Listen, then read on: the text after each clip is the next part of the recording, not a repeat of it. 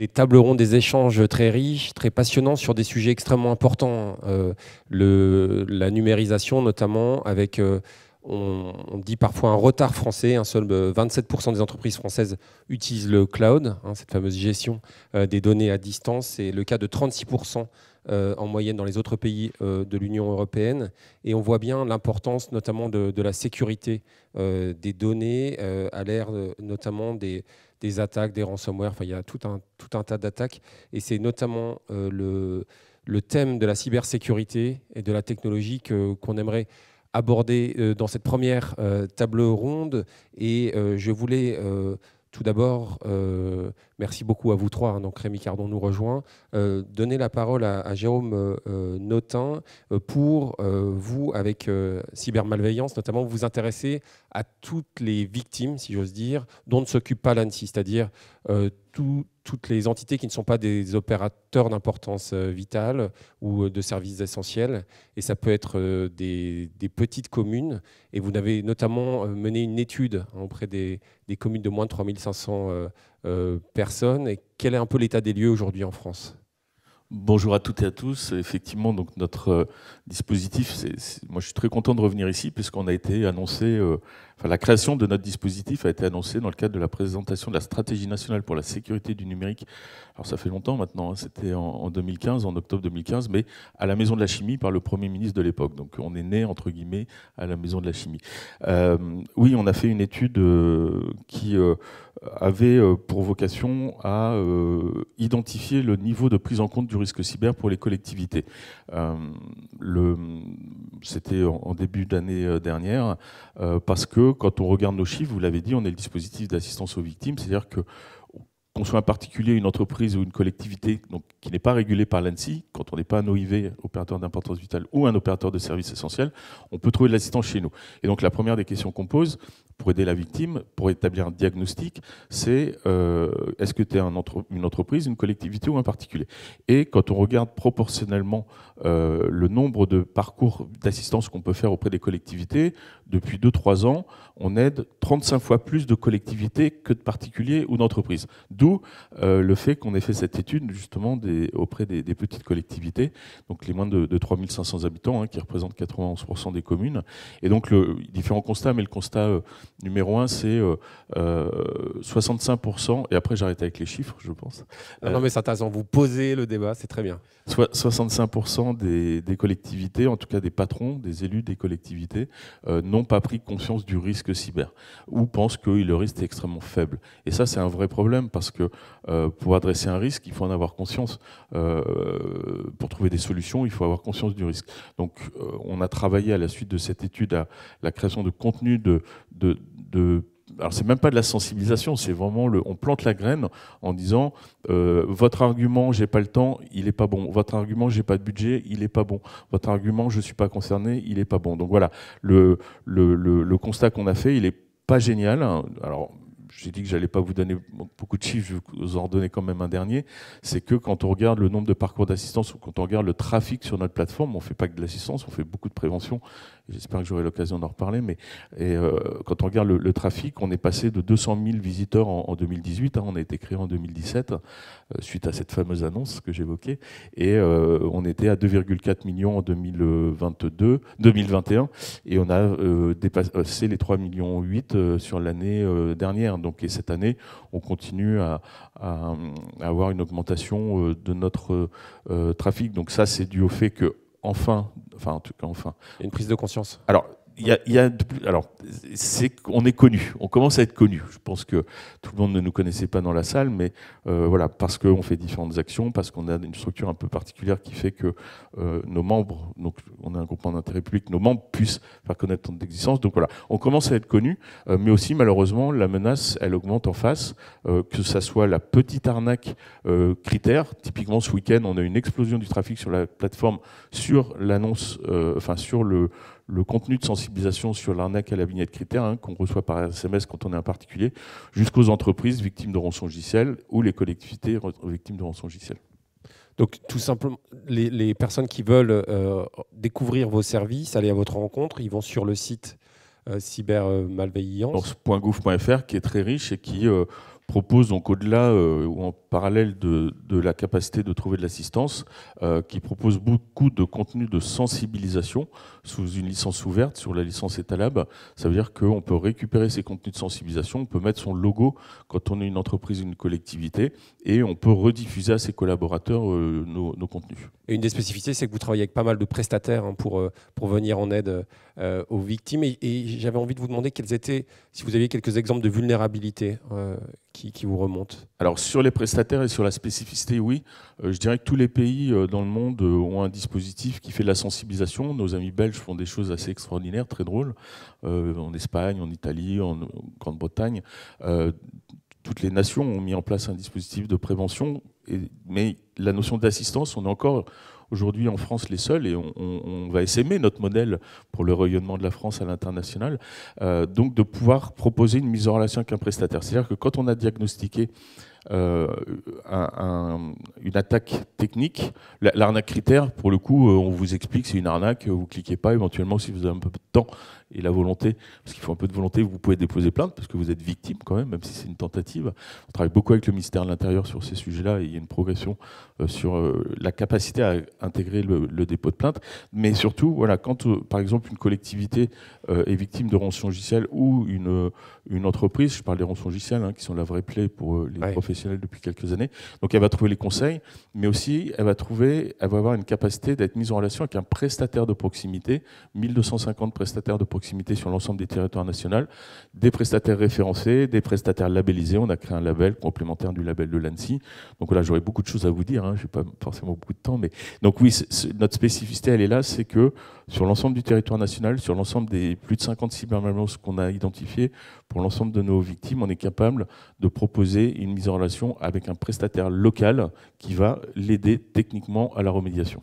Et une toute dernière question hein, qui me brûle les lèvres, les, les rançongiciels, vous en parliez, qui ont été euh, jusqu'à être au sommet hein, d'une rencontre entre euh, Joe Biden et, Vladimir euh, Poutine. Hein, c'était il, y a quelques années, mais ça continue à exploser, en tout cas dans, les témoignages qu'on entend. On conseille en général de ne pas payer, mais est-ce que c'est toujours facile? Ah, c'est un sujet très très très euh, compliqué. Vous avez sûrement suivi la LOPMI, la loi d'orientation de programmation euh, d'orientation et de programmation du ministère de l'Intérieur, où il y a un article disposé le fait que en tout cas, moi, je, me, utiliser mon devoir de réserve. Euh, je vais me limiter à, ce que dit la loi. Aujourd'hui, euh, euh, on a une capacité de payer la rançon, une entreprise ou une collectivité, plus compliqué techniquement pour une collectivité, mais en tout cas, une entreprise a une possibilité de payer la rançon sous réserve d'un dépôt de plainte, ce qui fera que, sous 72 heures, ce qui fera que son assureur pourra lui payer le montant, enfin, le, la rançon. Euh, voilà, est-ce que ça va pas être la boîte de Pandore ouverte euh, Ça pose beaucoup, beaucoup de questions. Mm, mm. Mais en tout cas, au moins, il y aura une enquête, il y aura éventuellement des. Mais il y avait peut-être d'autres moyens pour obtenir des informations. D'accord. Alors, on va rester. Merci beaucoup. Hein mon devoir de réserve est un tout petit peu écorné. Mais... Merci beaucoup. On va rester euh, vraiment dans le concret, dans le concret hein, avec vous, euh, Nicolas Vous avez créé un, opérateur euh, de fibre optique. C'est une très très belle boîte, en hein, 700 salariés. Vous, vous travaillez pour 20 000 entreprises, je crois. et vous, là, les, les, les cyberattaques, en tout cas la cybersécurité, c'est un sujet que vous connaissez bien. Et ce que j'ai trouvé très intéressant lorsqu'on Venez, Monsieur Cardon, bienvenue. Euh, lorsqu'on s'est parlé, c'est que vous expliquez qu'il y avait euh, bien sûr euh, tout un arsenal de, protection hein, qui peuvent aider les entreprises à, se protéger, mais il y a également des gestes hein, de, bon sens et vous, vous insistez sur une meilleure prise de conscience des salariés, quelques gestes simples aussi. Oui, merci Guillaume. Bonjour à toutes et à tous. Donc, je suis Nicolas Aubé, je suis président de Céleste. Céleste est un opérateur télécom euh, de fibre optique. Donc, on fournit de la fibre optique euh, et de l'hébergement de données aux, entreprises. Et donc, on est au contact des entreprises. Euh, ça fait 20 ans que Céleste existe.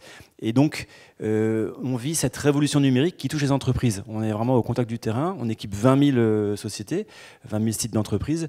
Et on voit qu'elles sont en train de subir de plein fouet une révolution numérique. C'est vraiment une transformation profonde. Euh, elles sont, les entreprises échangent des données et quand je dis entreprise, c'est aussi les collectivités, bien sûr, elles échangent des données avec leurs clients, leurs fournisseurs, avec leurs salariés à distance.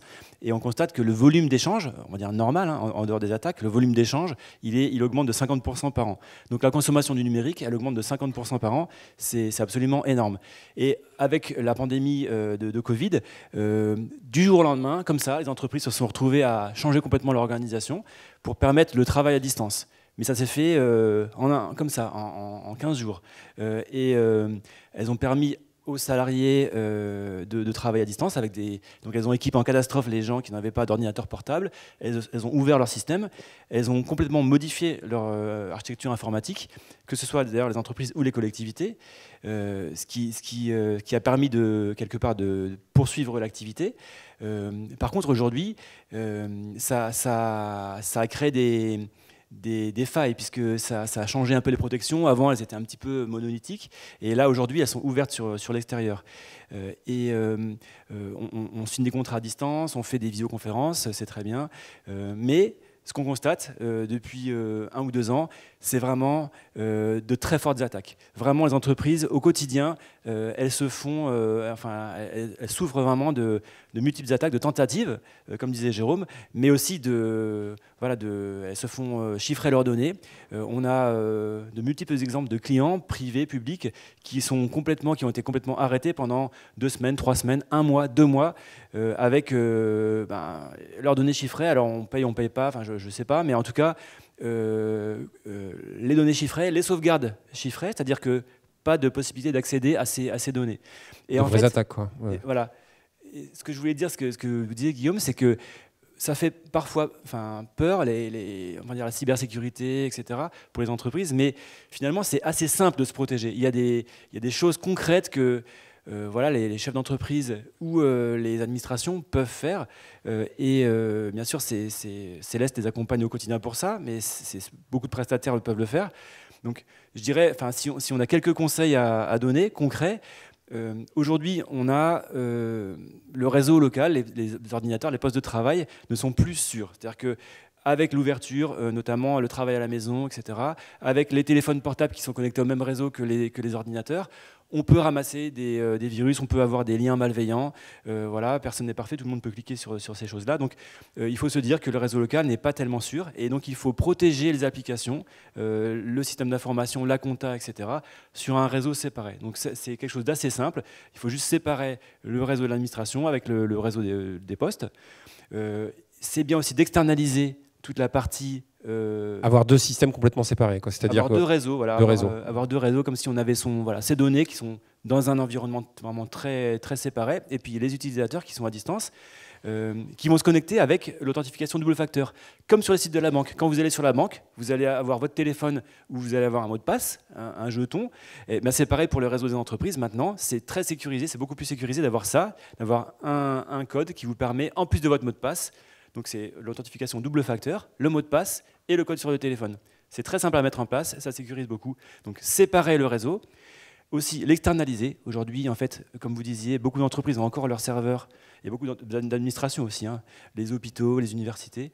Euh, les serveurs sont à la maison, sont dans les, dans les locaux. Et c'est pas bien, c'est pas bien pour euh, la sécurité. En fait, c'est fragile d'avoir ces serveurs chez soi. Il vaut mieux confier ça à des prestataires sécurisés qui vont avoir plusieurs lieux de stockage qui vont sécuriser les données, qui vont mettre à jour les systèmes, euh, et ça, ça, sécurise beaucoup.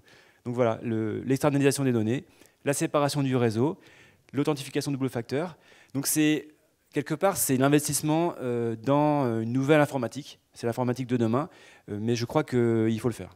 C'est intéressant parce qu'en fait, en dehors effectivement de toutes les protections euh, euh, vigoureuses qui peuvent vraiment protéger de manière euh, sûre, en tout cas les plus sûres possibles les entreprises, il y a tout un tas de gestes, en tout cas une prise de conscience qui peut être relativement simple en fait à, appliquer. C'est une, prise de conscience que vous appelez de vos voeux, de la part des salariés notamment. Oui, c'est vrai que c'est bien de, former euh, les salariés parce que c'est le, danger va venir essentiellement de, euh, de l'interne. En fait, on n'assiste pas, c'est pas, pas du, pas du terrorisme. Pas, je pense pas. Je pense que c'est plutôt euh, de la fraude tout simplement. Il y a bon, des gens qui envoient des, logiciels, on va dire à, tout le monde. Et puis, effectivement, dans, le lot, il y, a, bien des, personnes qui vont ouvrir des liens, qui vont introduire en fait un logiciel malveillant dans l'entreprise, au cœur de l'entreprise. Et donc, c'est vraiment les salariés ou les collaborateurs, les collaboratrices qu'il qui faut former, il faut sensibiliser, il faut faire des tests. Euh, c'est pas grave si on a cliqué sur quelque chose de malveillant. Euh, un, outil qui est, formidable, c'est le, euh, on va dire le contrôle des postes de travail. C'est-à-dire que si on a un logiciel qui va contrôler les postes de travail avec ce qu'on appelle un SOC, un, service d'assistance de, sécurité, qui va pouvoir euh, intervenir. ça, c'est quelque chose aussi ben, que, les entreprises peuvent prendre comme service, qui vont surveiller ce que font les salariés. Mais avant tout, il faut former les salariés. Le premier jour, le premier jour, quand quelqu'un intègre l'entreprise, il y a des bonnes pratiques à avoir il ne faut pas faire n'importe quoi. Euh, et, euh, je dirais que c'est. Euh, nous, on a, fait en fait un test. on fait régulièrement des tests en faisant des faux, des fausses des faux emails de, mhm. de, voilà, phishing. de, phishing, de, piratage. Mhm. Et puis, ce qui est étonnant, c'est que c'est même le premier jour, en fait, on envoie le premier jour à, des, à, des, salariés qui arrivent et ils, ouvrent, ils cliquent, etc. Ils sont, enfin, donc on voit que le, les il faut vraiment former dès le premier jour les, personnes. c'est ça qui m'avait étonné. Une surveillance assez soft, hein, en tout cas pour le bien de l'entreprise, euh, peut être bénéfique. Hein, c'est ça. C'est-à-dire que ça va permettre de, mieux former. Oui, Absolument, surveiller, euh, convaincre, former, et puis surtout, euh, enfin, il faut, euh, faut pas culpabiliser l'utilisateur. C'est normal, euh, je veux dire, de, se tromper, c'est normal de cliquer sur le lien, etc. Mais euh, voilà, il faut, il faut beaucoup de pédagogie. Dire, bah, quand vous l'avez fait, il faut le dire et c'est pas grave, on va, on va réparer, mais il ne faut pas cacher les choses. Merci beaucoup. Euh, Myriam Kemener, vous, vous euh, vivez hein, tout ce, genre de cyberattaque, cybermalveillance. Donc, vous êtes avocate spécialiste du droit du numérique et on va euh, bientôt pouvoir vous lire, puisque vous sortez bientôt, je crois que c'est en février ou en mars, un ouvrage chez l'Extenso, Écosystème numérique, quel droit pour les nouveaux acteurs? On va parler d'IA, de métavers notamment. Lorsqu'on a préparé cette table ronde, on s'est dit qu'on allait être dans le plus concret possible. On voulait peut-être parler d'une affaire, d'une messagerie chiffrée que vous avez bien suivie. Est-ce que vous pouvez nous, nous, expliquer ce dont il s'agissait? Oui, effectivement. bonjour à tous. je suis ravie d'être parmi vous et on voit bien que lutter contre euh, ces cyberattaques, euh, développer la cybersécurité, c'est aussi une coopération publique-privée. Euh, donc effectivement, de plus en plus, l'institution judiciaire est confrontée à aussi des affaires liées à la cybercriminalité et parce qu'on a de plus en plus de plaintes, effectivement, les plaintes permettent à la justice d'avoir connaissance des affaires et même si c'est une démarche qui fait un peu peur. Euh, il y a une sensibilisation, un accompagnement euh, justement dans cette démarche de plainte qui fait que euh, des affaires aboutissent. Et en deux mots, c'est l'affaire d'ailleurs, la presse en est fait l'écho, hein, même si l'auteur principal n'est pas encore jugé. il s'agit d'une affaire à dimension internationale de commercialisation d'applications extrêmement chiffrées qui étaient vendues dans des arrière-boutiques ou dans des épiceries, alors que normalement la commercialisation euh, de ce type euh, d'application euh, est contrôlée par notamment l'ANSI. Donc ça a été le point de départ de l'affaire. on a été saisi par notamment la Belgique et d'autres pays européens et donc des investigations multiples et variées ont été menées qui ont abouti à justement l'interpellation de revendeurs de ces applications et également d'un de l'auteur, enfin de la personne qui euh, a monté cette entreprise, euh, donc euh, qui est mise en examen pour des infractions classiques. C'est là qu'on en vient à parler d'outils juridiques, c'est-à-dire comme blanchiment, bande organisée, escroquerie en bande organisée, mais aussi atteinte au système, des infractions spécifiquement informatiques qui ont été établies dès 1988. C'est ce qu'on appelle la loi Godefrein, qui permet de réprimer toutes les infractions liées au piratage, introduction frauduleuse de données, etc. Là, c'était dans un but euh, d'extorsion de fonds, c'est ça ou euh, bah, Évidemment, faire du business, hein, parce qu'il est clair qu'il y a un déplacement très net de la délinquance vers le numérique. Hein. C'est moins risqué, il n'y a pas de confrontation auteur-victime. Vous commencez à commettre des faits à l'autre bout du monde, les effets vont se faire sentir en France. Et donc, très nettement, quand j'ai commencé ma carrière, il y avait des braquages, maintenant c'est des cyberbraquages. Hein. Oui, il peut, y avoir également des manipulations. Hein. Je crois que vous suivez aussi les, influenceurs. On a vu aussi des manipulations de la promotion de certaines crypto-monnaies. Euh. Oui, exactement. Il y avait cette fameuse Nabila euh, qui avait été euh, poursuivie, un peu sermonnée, puisqu'elle faisait de la publicité pour les crypto-actifs. donc il y a des nouveaux acteurs qui surgissent, qui sont plus ou moins réglementés et euh, c'est ce que j'évoque dans mon prochain ouvrage. Euh, c'est vrai qu'il y a une espèce de nébuleuse euh, numérique et le législateur intervient pour donner un cadre. Bon, on a des exemples très concrets, on a un arsenal assez complet. Vous connaissez tous, par exemple, le RGPD, hein, qui a été. on a un peu le sentiment qu'il n'y avait rien avant, mais ça a permis de, sensibiliser beaucoup d'entreprises, hein, c'est-à-dire protéger ces données. Et la CNIL a largement accompagné euh, ces acteurs dans la protection de ces données euh, qui sont plus ou moins euh, sensibles. Et il y a aussi un arsenal très complet en matière de renforcement de la cybersécurité. Je pense par exemple à la directive Nice 1 et Nice 2 qui vient de, sortir. Oui, on voit bien la, manipulation. Parfois, on va faire appel à, des célébrités. Au point, on avait particulièrement suivi l'affaire FTX, euh, vous savez, avec euh, Sam Bankman-Fried, qui s'attachait en fait l'amitié euh, de célébrités comme Tiger Woods ou Gisèle Bündchen pour mieux faire passer un peu la, euh, pilule. Mais, à vous entendre, en fait, cet arsenal juridique permet vraiment de protéger, en tout cas de, de mieux combattre. Hein, c'est ça, ce genre de. Oui, tout à fait. Rien ne vaut évidemment la prévention, euh, sensibiliser les salariés, hein, comme vous venez de l'indiquer. Mais à partir du moment où une cyberattaque se produit, il y a des réponses, de plus en plus de réponses par des services spécialisés. Hein. Euh, police, gendarmerie, douane, et qui euh, en fait nous fournissent euh, des procédures qu'on s'efforce de, traiter le plus rapidement possible, hein, parce qu'évidemment, il y a souvent le temps judiciaire et le temps du numérique. Hein. il y a un certain décalage, mais il y a une, énorme sensibilisation, en particulier de la justice, hein, sur ces questions. Merci beaucoup. Alors la cybersécurité, c'est un thème qui vous est cher, monsieur le sénateur. Donc euh, vous êtes... Euh, ça va Ça fonctionne? Vous êtes co-auteur d'un rapport euh, sur, le, sur le sujet et, je crois que vous avez fait un, état des lieux pour ce rapport peut-être un peu alarmant, mais surtout vous avez des idées en fait sur les, mesures qu'il faudrait prendre pour peut-être nous protéger davantage. Lorsqu'on s'était parlé, vous m'aviez parlé entre autres, hein, d'un déficit euh, de, main-d'œuvre, de la nécessité parfois de commandes publiques euh, pertinentes euh, sur le sujet. Qu'est-ce que peuvent faire les pouvoirs publics face à cette cyber, cyberattaque, sans vouloir affoler tout le monde, hein, mais qui, ah progresse?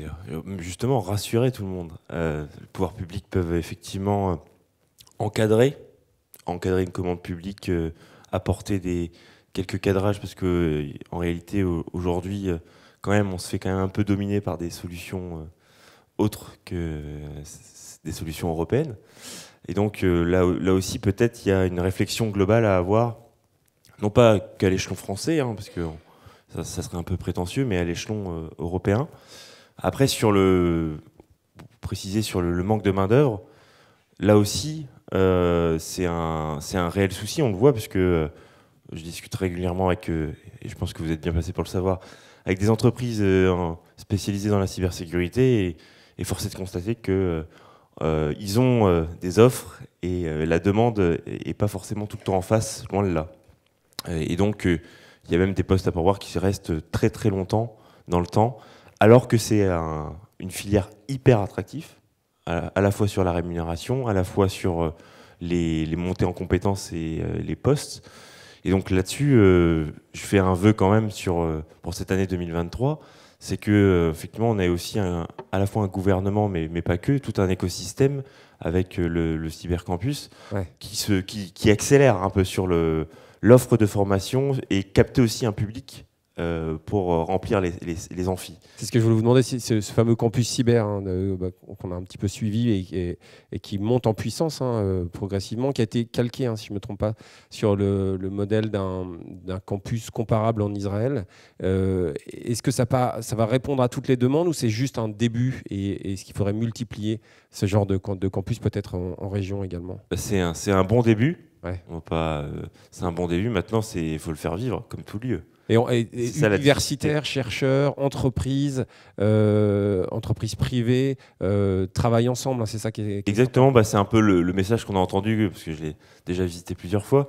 Mm. Mais euh, le message qu'on entend en tout cas à l'intérieur, c'est ça nous permet de, chasser en meute entre guillemets. Attention, c'est pas c'est pas des cybercriminels à l'intérieur. Bien au contraire, c'est plutôt pour chasser en meute sur des marchés, sur converger sur des solutions, travailler voilà en commun utiliser toutes les forces vives un peu de, euh, françaises qui, euh, qui, défendent, qui vont défendre la nation en cas d'attaque ou tout simplement qui euh, vont aussi monter en gamme nos, solutions et, innover un peu dans ce domaine. Donc, pour le coup, c'est rassurant. Maintenant, ça reste encore un peu trop pour l'instant pour l'instant, un peu trop Île-de-France, si je dire. Donc, francilien. donc il faut, francilien, et donc il, faut, il faudra dépasser tout ça. Et donc là aussi, il y a des, des centres régionaux qui se montrent progressivement, mais encore une fois, euh, force est de constater que par exemple pour recruter 2-3 postes, euh, euh, c'est compliqué dans, certains, certaines régions. Donc là encore, on voit bien le, le besoin qu'on a en, main-d'œuvre.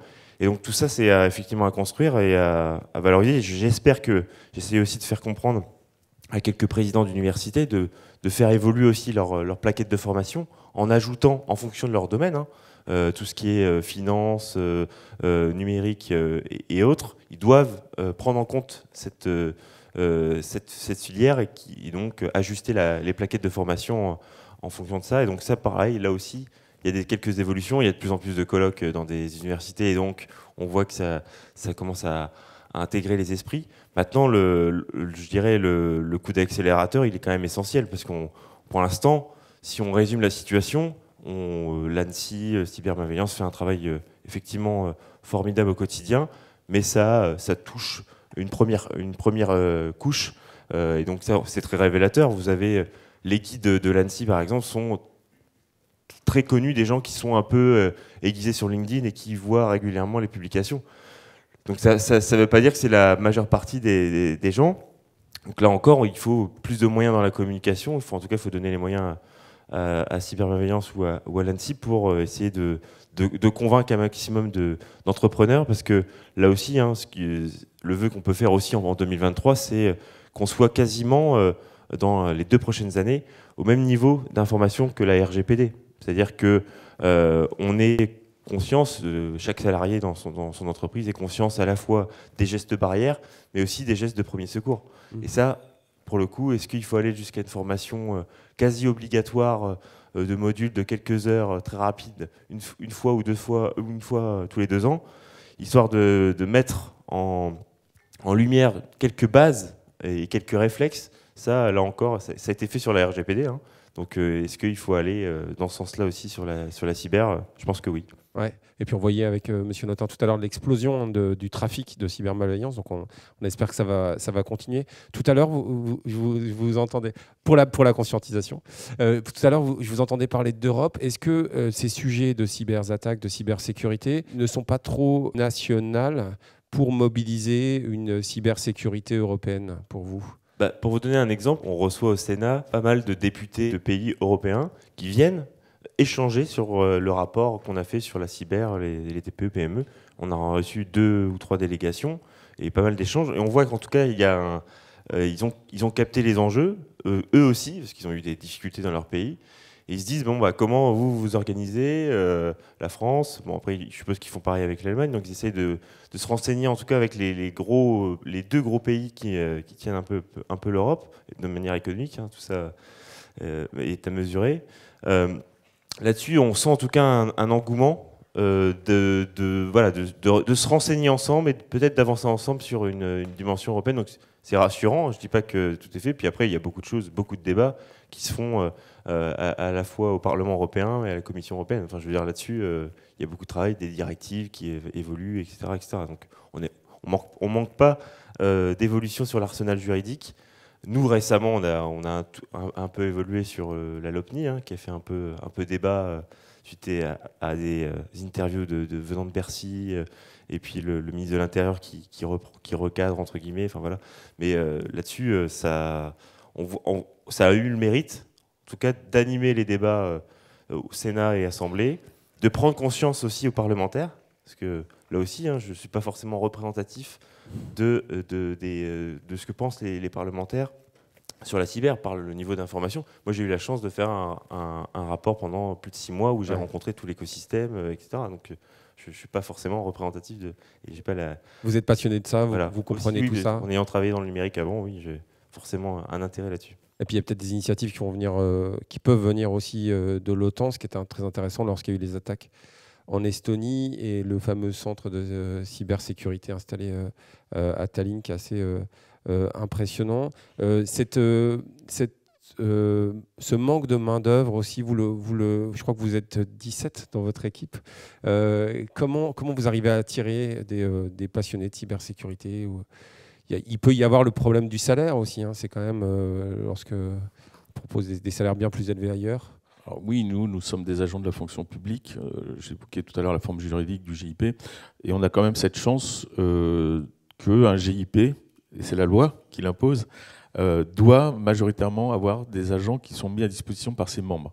Alors j'espère que je ne peux pas trop vous perdre, mais ça veut dire quoi? Ça veut dire qu'on on peut recruter en propre, mais on peut on doit avoir plus d'agents mis par ses membres. Et nos membres, principalement, donc on a des membres publics, on a des membres privés, et les membres, euh, les agents du GIP, ce sont des agents qui sont majoritairement mis à disposition par des ministères.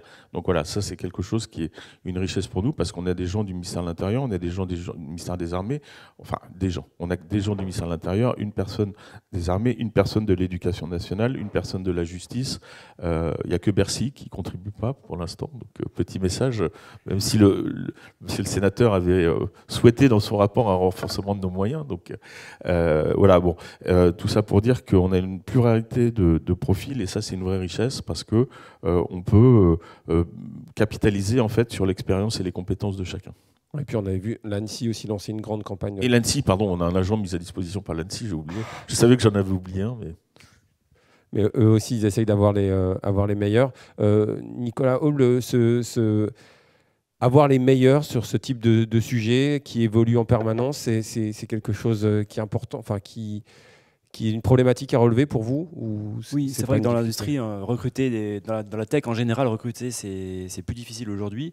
Euh, et surtout, en fait, je pense qu'il y a un manque de, de, de formation, enfin, il y a un manque de tout simplement de, candidats. Hein. On a, et du coup, on forme en interne. On, a, on a beaucoup fait le choix de, recruter, de, former, euh, de former en interne à ces métiers-là.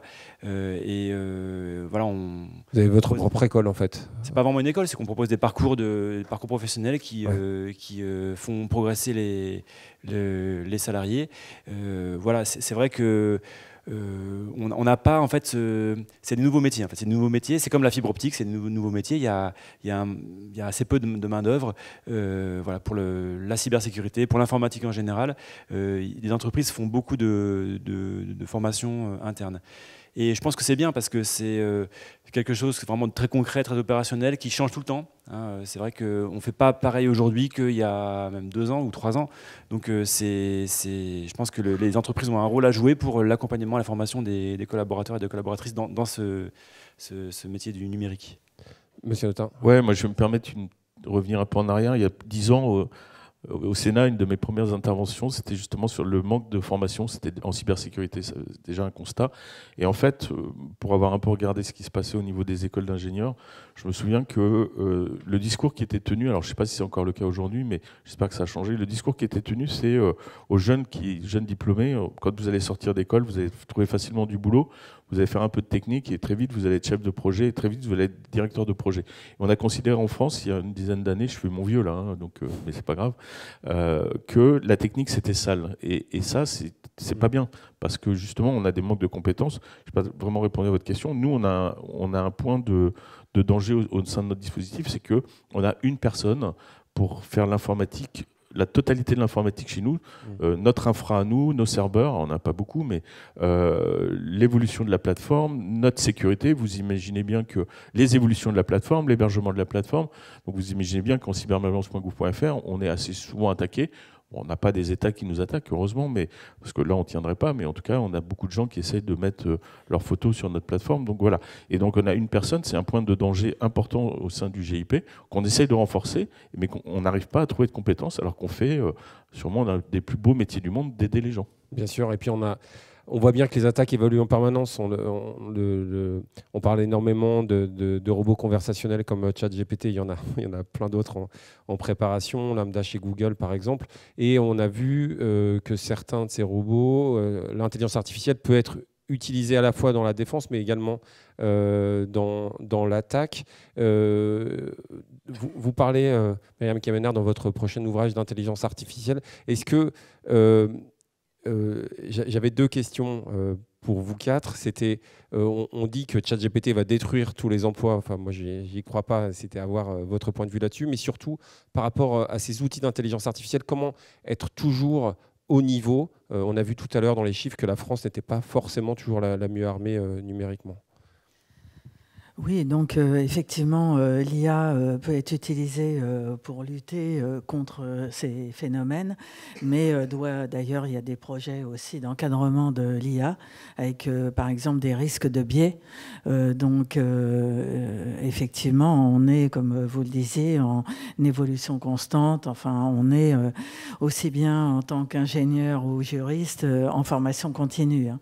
Donc l'IA, d'ailleurs, je voyais que la CNIL a créer un département spécifique euh, consacré aux, enjeux de l'IA. Euh, donc euh, il y a des points très positifs, mais ça mérite d'être encadré au regard de la protection des libertés individuelles et éviter ces risques de biais. Euh, je voulais juste euh, compléter. Allez-y, allez-y. Euh, juste compléter pour justement au niveau des textes, on est dans une démarche, comme vous l'indiquez, Monsieur le Sénateur, dans une démarche véritablement européenne.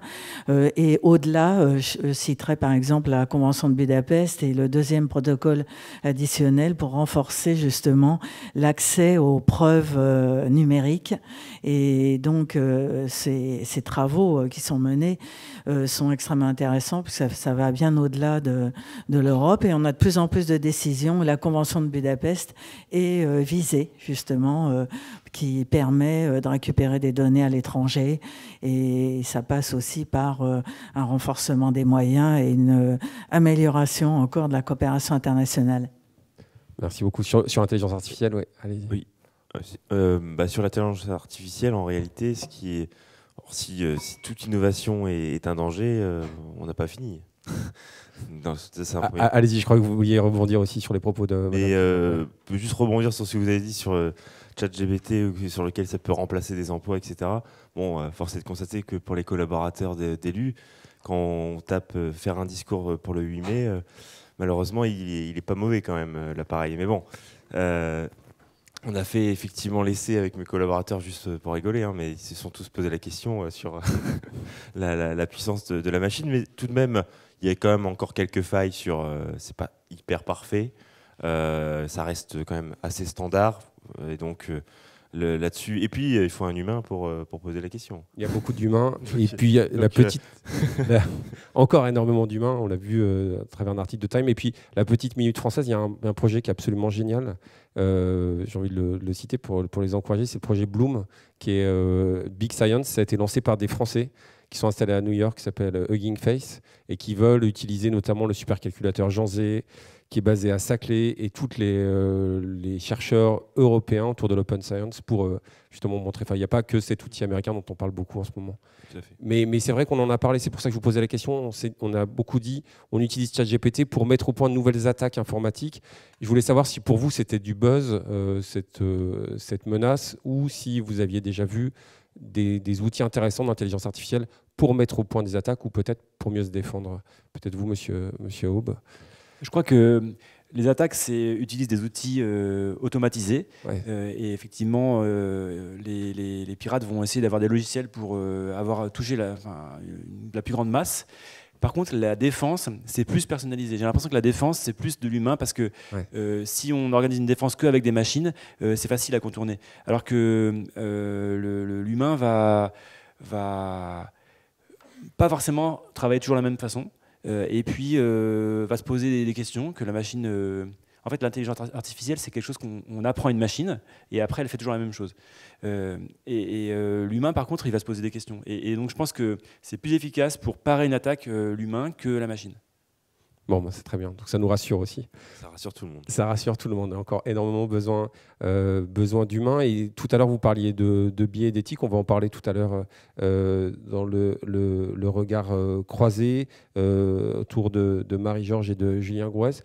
le euh, ces, cyberattaques, là, ce qui était bien, c'est qu'on n'a pas eu euh, de langue de bois. On a vu à quel point on pouvait être menacé, à quel point il fallait euh, augmenter la prise de conscience, qu'il y avait des gestes du quotidien qui peuvent être très simples pour, nous protéger. je voulais vous poser peut-être une dernière question sur ces cyberattaques dont on parle beaucoup, des rançongiciels. Est-ce que vous voyez une augmentation des attaques j'allais dire politiques, hein, on a quand même quelques pays en guerre en ce moment en Europe, où ce sont essentiellement des attaques financières et euh, voilà, comment, comment ah bah, Pour répondre à votre question, euh, je répondrai tout simplement que tout, ce qui, euh, tout est politique. ben non, parce qu'en réalité, c'est un, un, peu ce qu'on essaye de faire comprendre aux uns et aux autres. Il n'y a pas que les gros groupes qui sont intéressants. D'ailleurs, si S'ils n'arrivent pas à passer par la grande porte du gros groupe, ils partent par la fenêtre. C'est la PME ou la TPE euh, qui travaille avec ce grand groupe. on en a parlé avec monsieur. donc ça, tout à l'heure, je suppose que ça a été dit. Mais euh, là encore, euh, y a, bien évidemment, sur les enjeux cyber, il y a des enjeux géopolitiques. Parce que même dans le, je dirais, tout le travail d'enquête, dès l'instant où c'est dans un autre pays, en tout cas c'est stocké dans un autre pays, ça devient tout de suite bien plus compliqué à gérer. Parce qu'il y a aussi de la diplomatie à, organiser entre des ministères et des services pour, euh, pour faire passer les, euh, pour avoir des accords pour récupérer un certain nombre de, données. Donc, vous voyez que à la fin, même si c'est une, entre, une, entreprise euh, qui se fait attaquer à, l'étranger et que cette entreprise stocke des données d'une entreprise française ou d'un gros groupe français, bah là, voilà, tout de suite, ça, ça met autour de la table d'autres acteurs qui n'étaient pas forcément concernés au départ. C'est par définition mondialisé, quoi. Exactement. Sur, sur ces, les motivations des, attaques, peut-être, monsieur Notin ah, Les motivations, c'est principalement l'argent, parce que les, les, attaques euh, étatiques, euh, on les voit très peu. C'est mhm. principalement de l'espionnage, c'est l'exfiltration de données. Et à l'opposé d'un attaquant, d'un pirate qui va vouloir de l'argent, un, étatique qui va être le plus discret possible pour euh, rester le plus longtemps possible dans les réseaux. Alors après, il peut y avoir des volontés de destruction, euh, cachées ou pas par des rançongiciels, hein, c'est un mode opératoire classique. Euh, mais euh, on n'a pas vu, et si vous faites référence à la situation géopolitique actuelle, euh, on n'a pas vu d'attaque majeure liée au conflit russe, mhm. enfin, conflit, à l'agression russe de l'Ukraine, mhm. contrairement à ce qu'on redoutait tous dans nos, dans, dans, dans, dans, nos domaines d'expertise. Ouais, c'est vrai. Et puis on a vu aussi qu'apparemment des groupes euh, qui étaient attribués aux Russes avaient des Ukrainiens. Donc en fait, tout, tout ça, c'est très compliqué. Mais effectivement, y a, on n'a pas vu cette explosion euh, euh, qu'on redoutait. Monsieur, peut-être? On peut dire que ça s'est démocratisé. En fait, le piratage s'est démocratisé. C'était effectivement il y a quelques années, c'était très politique. C'est-à-dire qu'on avait, on se retrouvait avec des sites web avec des des messages, des messages politiques. et c'était voilà, ça a été, ça a démarré comme ça. Et maintenant, aujourd'hui, c'est plus comme on disait, de la délinquance. Euh, sauf, qu'elle est mondiale, effectivement, elle est, elle est à distance, mais quelque part, c'est par hasard, en fait. C'est juste que tout le monde est interconnecté. Mais euh, c'est, on voit qu'aujourd'hui, c'est vraiment de la fraude et c'est plus des, bah, oui, du banditisme, comme, comme, vous disiez. Du banditisme qu'il faut traiter comme tel, et c'est ce que vous faites au quotidien, Madame Kiamner. Écoutez, je, vous, je, vous, remercie beaucoup tous les quatre. On, va, on a vu à quel point, pour peut-être une petite phrase de conclusion à quel point c'était des sujets actuels. Hein. Euh, tout le monde peut devenir cybercriminel, hein, mais tout le monde peut surtout mieux se défendre et il y a des outils euh, pour ça, euh, cybermalveillance. des entreprises, hein, vous accompagnez pas mal d'entreprises en tant qu'opérateur et surtout vous, euh, sensibiliser euh, en interne. Je rappelle, Madame Kemner, qu'on pourra euh, vous lire à travers un ouvrage que vous allez sortir chez L'Extenso qui s'appelle Écosystème numérique, quel droit sur les nouveaux acteurs où vous revenez entre autres, hein, surtout l'arsenal juridique qui peut permettre de se défendre et qu'on devrait tous s'approprier. Et monsieur le sénateur, merci énormément d'évangéliser. Hein. je crois que c'est ce que vous faites, entre autres, eh bien, toute la population, mais également les élus sur, sur l'importance de, de ces sujets. Merci beaucoup à vous quatre. Donc on peut vous applaudir.